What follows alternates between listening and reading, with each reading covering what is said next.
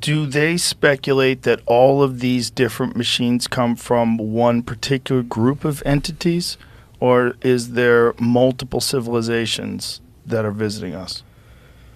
Yeah, they think it's maybe it's more than one answer. It's entirely possible um, because they, you know, the craft look different, the beings look different. The reports you get from all over the world over the decades, we don't really know for sure what they do look like because they can, they seem to be able to change their shapes, at least change what how we perceive them in our head. I don't know if they're manipulating our perceptions or what.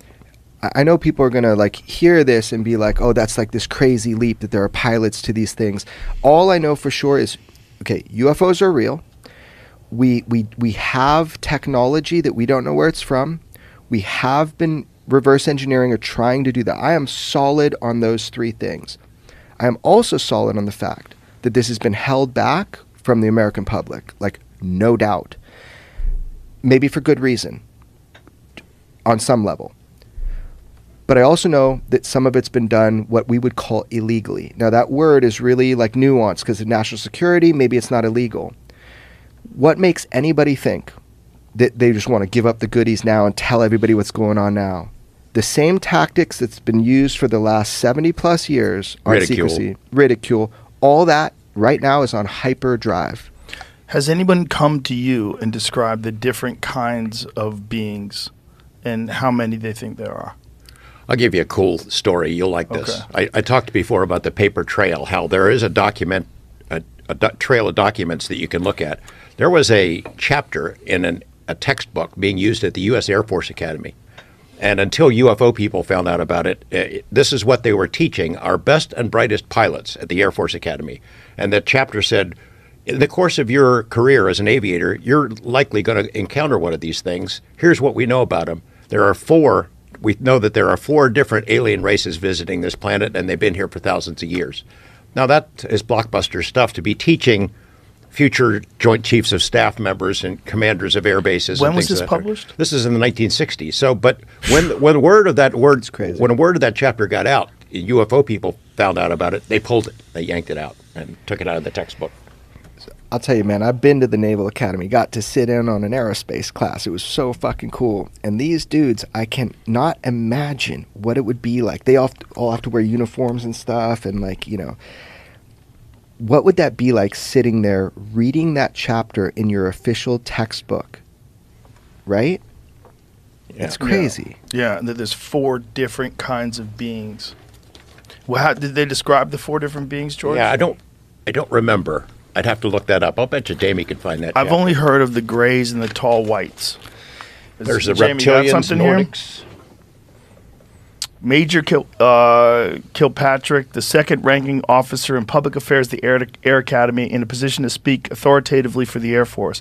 He admitted at once that plebs are taught from a text entitled Introductory Space Science Volume 2, and an entire chapter 33 deals entirely with UFO considerations. He quoted from page 455 that 50,000 virtually reliable people have reported sighting unidentified flying objects. This leads us with the unpleasant possibility of alien visitors to our planet. The 14 page chapter continues, or at least alien controlled UFOs.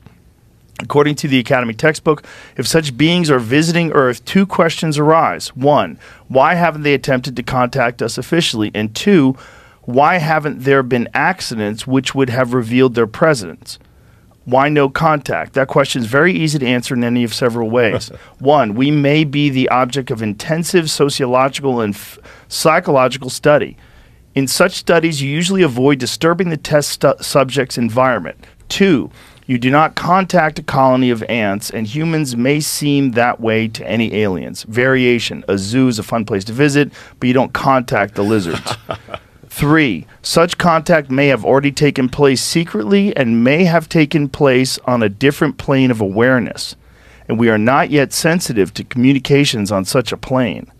What does that mean? Uh, in releasing this interview with the Lemoore uh, Advanced, uh, the, the Lemoore Advanced, we are well aware that many readers were will certainly raise an eyebrow or two, but Major Kilpatrick insisted The above chapter in the text is not a fairy story. At the end, he seemed to go along with the recommendations of the physics tech books, textbook, which advises Air Force officers as follows The best thing to do is keep an open and skeptical mind and not take an extreme position on any side of the question. Astonishing, isn't that? Wow. I had a, I have a copy of the original textbook, the chapter. I'll find it for you somewhere. This is what's fascinating to me. Such contact may have already taken place secretly and may have taken place on a different plane of awareness. And we are not yet sensitive to communications on such a plane. What does that mean? It's just an Air Force textbook, dude. Don't worry about it. Uh, wow. 50,000 credible sightings they're citing. And this is in 1966, I think, is when that chapter was out. Wow. uh, may they just let that guy slip in a chapter? I mean, that's crazy. You know, and then the skeptic would say, why aren't we seeing them more?